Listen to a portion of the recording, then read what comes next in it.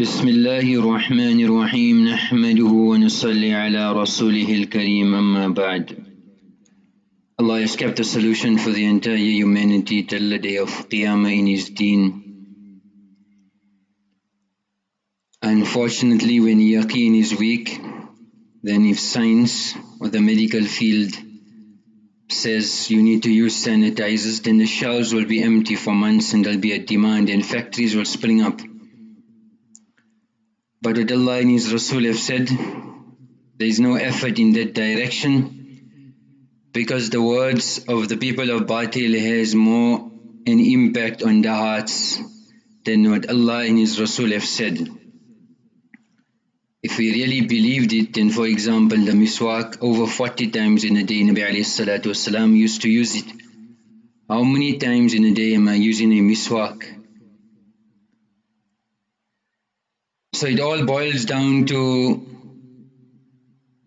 yaqeen. For cure, for remedies, hydrochloroquine, the shelves were emptied was sold out. Why it's a shifa. What Allah and His Rasul have promised as a shifa, are the shelves sold out? Is there a demand? So we need to check ourselves all the time. Amongst the encouraged chapters of Tibb is Milk. وَإِنَّ لَكُمْ فِي الْأَنْعَامِ There is a lesson for you in the cattle. نسقيكم مما في بطونه من بين فرث ودم لبنا خالصا That Allah subhanahu wa ta'ala gives us a drink from what is in the bellies of these animals from between excreta and blood لبنا خالصا سائغا للشاربين it is pure milk palatable to those who drink it even in Jannah Allah subhanahu wa ta'ala has spoken about وَأَنْهَارٌ مِّن لَبَنٍ so streams of milk when we drink milk وإذا سقي لبنا فليقول اللهم بارك لنا فيه وزدنا منه Did Allah give us barakah and increase فإنه ليس شيء يجزئ من الطعام والشراب إلى اللبن There is nothing more sufficient, more satiating from amongst the foods than drinking milk. عليكم بألبان البقر that hold steadfast onto the milk of cows فإنها دواء because in it it is a remedy was manuha and hold steadfast to the butter the ghee in the olden days ghee used to be made and you feel find the olden day people also they in the 80s they still working and walking and the 8 years and 18 years old can't even lift a spoon فإنها شفاء because there's cure in this year وإياكم وَلُحُومَهَا and be careful of the meat of cattle for there is sickness in it so some hakims also advise so normally we should be having farm milk not the milk which we buy on our shelves because most of the nutrition and nutrients have been removed. Then from the farm milk, ideally we want cattle that are grazing, natural, natural, organic. And then some Hakims advise to drink the milk as is not even to pasteurize it. Allahu alam bis sawab. So Nabi alayhi salam amongst his favorite drinks was milk. So we should have it as part of our daily routine to consume milk. There was a story of somebody who had some issues and some, some sickness and Nabi alayhi salam was there and he said, Albanuha shifa وَسَمَنُهَا دَوَاء So in its milk, it in the ghee, in the butter, there is shifa and cure. three things, among the three things you should never refuse, one of them, riwayat of Tirmizi, is milk as well.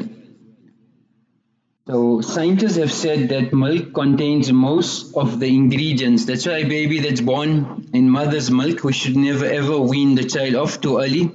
But till the last, try to keep the children on mother's milk. So he says it contains most of the elements which the human body needs from sugars, fats, minerals, iron, sodium, vitamin A, B, C, uh, etc. Then the fat in the milk is, is a form of nutrition. The protein which, which is necessary for the body, the minerals, sodium, calcium, magnesium, potassium, the vitamins A, B, B2, B12, C, D, E, then the starches which are in the milk as well.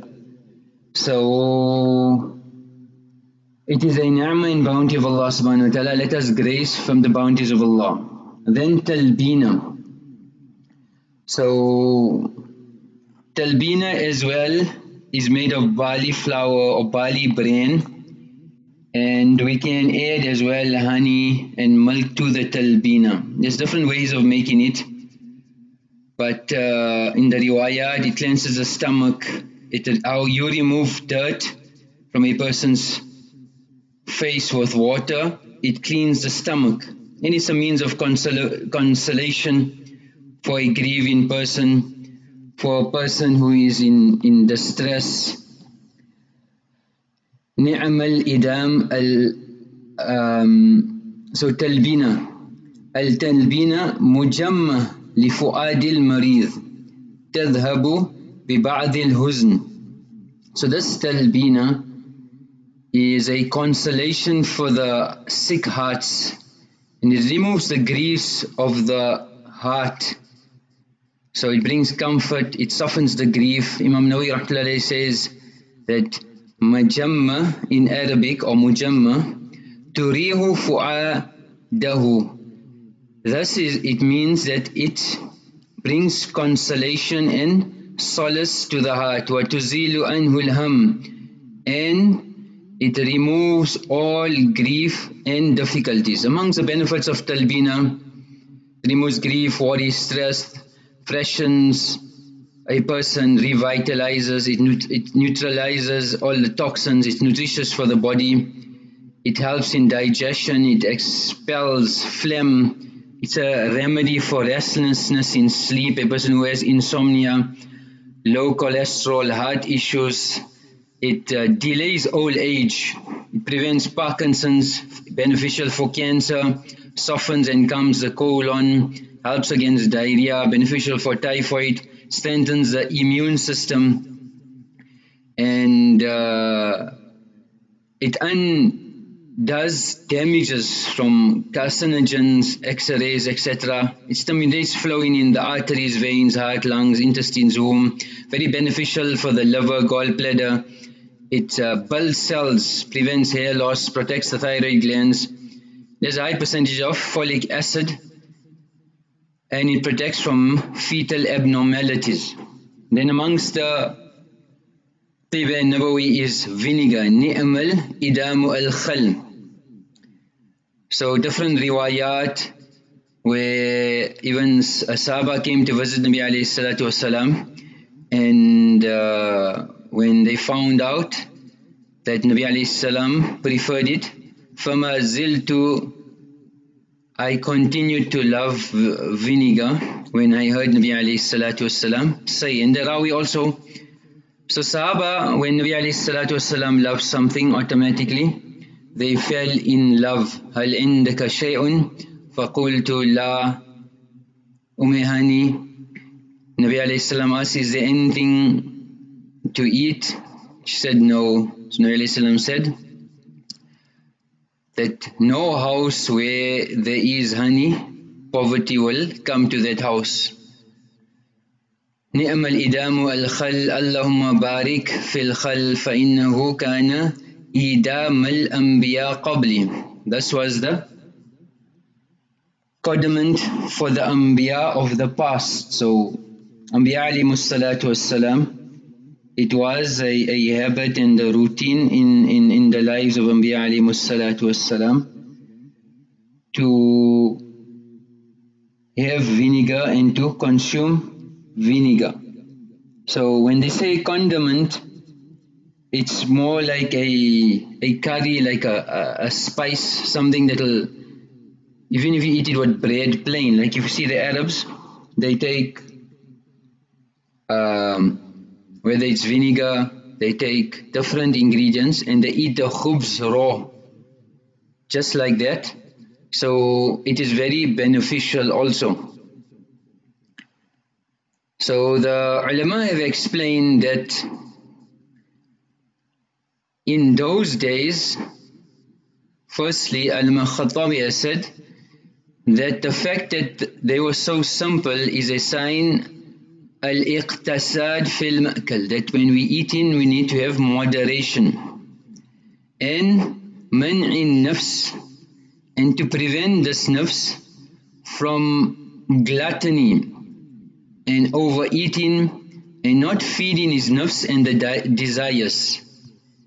And then they say in that era, the fact that Sahaba radiallahu an, common and prevalent was grapes and kajur. And uh, muhaddithin have given dalail. Firstly, grapes were com common as we see the banning of alcohol, so since grapes were available, there's a great chance that the vinegar of that time was made of grapes or kajur, dates. Then secondly is apples were not prevalent in those days as well, although you can make vinegar out of apple as well. And thirdly, in the fuqaha, the kitabs, they've mentioned khal al-inab wa tamr. So that also, that the fact that all the masail revolved around that, then uh, Hazrat Ali radiallahu anh used to make arada khal inab from grapes, they made vinegar. Then Ibn Qutayba also has mentioned that if you want to make vinegar, أخذت من العنب ما بدالك Take it from grapes. Azhari, who is the Imam of Lughad, has said, الاختلال من الخل من عصير العنب والتمر. So kajur and grapes. Even Alam al-Sarakhsi has mentioned, كما أن العنب مع التمر جنسان so how dates and kajur uh, dates and grapes are a combination also vinegar should be made from this. So the different dictionaries if we go. In today modern times there are 21 types of vinegars available commercially. Amongst the most harmful and which is normal routine found in our houses we should try to abstain is distill, white or spirit vinegar. And uh, this vinegar is also used for cleaning, uh, for laboratories, for medicinal purposes. And because there's a high percentage of acidic content in it. That's why it's used as a household cleaning agent. So can you imagine we consuming this and, and according to the process because of acetic acid which is in it and water the combination and it ferments there's 5 to 20% of this acid and um, acetic acid is a main component of vinegar and it can cause irritation in the stomach it can damage the mucus in the intestinal tract, can cause ulcers, gastritis, vitamin deficiency, infection. So in the US, three of the most common dietary causes of gastritis with aspirin and alcohol is vinegar. So it interferes with the, digestive system, um, the bloodstream, it uh, damages the stomach lining, it stimulates the thyroid gland to remove the phosphorus and depleted phosphorus will result in impaired function of your glands. Then the vinegar itself is harmful to the liver because it has to go through the liver and the kidneys. It harms the central nervous system. Then uh, weakness of the bone because Vinegar causes low potassium, and when there's less potassium in the body, the, the density of the bone also decreases. It uh, stimulates and contributes to candida overgrowth. And likewise, there are many, many other harms as well. So, amongst the other vinegars, which is fruit vinegars, which they make from apple, blackcurrant, raspberry, quince, tomato, then coconut vinegar, which is made from coconut water, generally famous in Asia, then corn or maize vinegar. So this is was uh, created from corn sugar. Then we have the vinegar made from sugarcane juice, which is generally common in the Philippines. Then grains in China, the Chinese black vinegar, which they make from rice, wheat, millet, sorghum. And according to the hadith, Allah alam bis sawab, but balsamic vinegar, which is from Modena, Italy. And uh, generally the olden type, which is very dark. So the, the traditional balsamic vinegar, which is made from the concentrated extract of grapes. So whether so to try to source the original one, it may be very expensive and costly, but it goes under the DOC or traditional balsamic vinegar protected designation of origin status. And they'll tell you it's 5 years old 10 years old 15 years old 25 30 years old. The the the non-DOC which is the commercial form which you find nowadays on the shelves that's made from concentrated grape juice, but it's mixed with other ingredients. It's colored, it's sweetened, they've added caramel, they've added sugar, etc. So try to get the original. Then amongst the طب النبوي is with عليكم بالثفة فإن الله جعل فيه شفاء من كل داء Cress Allah has made it a cure for all diseases. So Nabi alayhi salam asked also, you have cress present for you? and Allah subhanahu has put a healing in it for every disease. So like how the black seed is emphasized, a lot of people have overlooked cress. Riwayat of Abdullah ibn Abbas, Nabi Alayhi asked, what kind of healing is in the two better things, the cress and aloe vera. Also it should be used to fumigate the house, uh, but we'll get into that shortly inshallah. Then um, Abdullah ibn Jafar riwayat of uh, fumigating your houses, duhni, with dried cress leaves, or mur or thyme, and uh, fumigate your houses with luban, ashi in the hadith is referred to dried cress leaves, maybe some other leaves as, as well, and uh, in the hadith as well, the word sa'tar thymus or thyme and duhni. Then al-mur, the gum tree, luban. So that's for fumigation. Among the ingredients in cress is uh, dietary fibers, protein, vitamin A, beta carotene, vitamin B1, 2, 3, 5, 6, 9, vitamin E, K, calcium, iron, magnesium, phosphorus, and potassium. Very good for eye disease, reduces allergies, worms, cough, dysentery, scurvy, asthma, chronic cough, remove phlegm, reduces swelling, pain, bronchitis, bleeding, helps in piles, diabetes, leprosy, skin diseases, stops diarrhea, improves lung function like now COVID, la ilaha illallah, increases and reduces fever as well. And then amongst the other tiba nabawi is alaykum bis sana, fennel, والسنوت فإن فيها shifa min kulli da illa sam. Except death is a cure. Ya Rasulullah, wa sam? What is sam? It is death. So, fennel, senna, aloe vera, all of these ingredients.